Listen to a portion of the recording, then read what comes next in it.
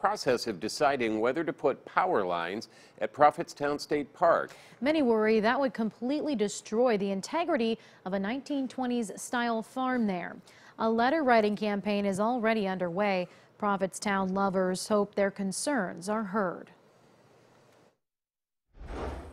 When you drive in there, it's like you're going back in time. It really is. Dave Sattler is one of many who enjoys what the farm at Prophetstown has to offer. I mean, you've got chickens running around, you've got ducks, and and and uh, it is it's just it's magical. You go into the house and you feel like at your grandma's house. You know, it's really really neat there. But when he heard the Indiana Department of Natural Resources could be relocating power lines here, I couldn't believe it. I thought, why would why, why would they even consider that? Duke Energy gave DNR three potential locations for the power lines.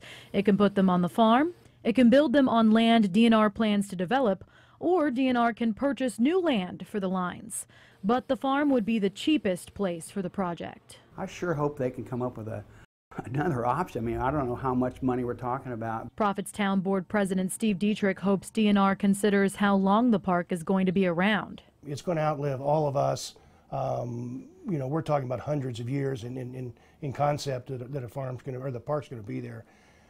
A few hundred thousand dollars for that period of time to do the right thing and get things set up doesn't seem to be out of the question to me. I just hope everybody uh, who has a feeling about this and would hate to see that happen uh, politely say, you know, I don't think it's a good idea. We're still hoping that, that they come up with some either new alternative that satisfies everybody um, or, or can make, you know, make ends meet.